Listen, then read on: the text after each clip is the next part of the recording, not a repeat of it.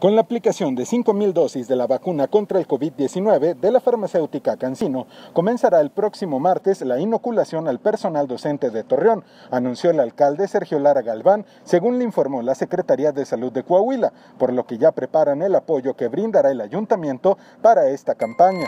Equipo y personal, en este caso son toldos, sillas, vallas y el personal que nos solicitan, que generalmente es gente de protección civil la que ha estado apoyando y pues, alguna vigilancia fuera de, de vialidad y demás. El presidente municipal dijo que al igual que en la primera fase, la vacunación se llevará a cabo en el Hospital Regional Militar.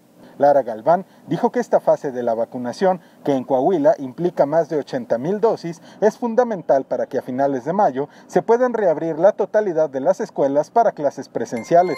Precisamente por eso se implementaron las mesas operativas para la reactivación educativa y la reactivación económica, pues para tratar ya los puntos finos del regreso a clases.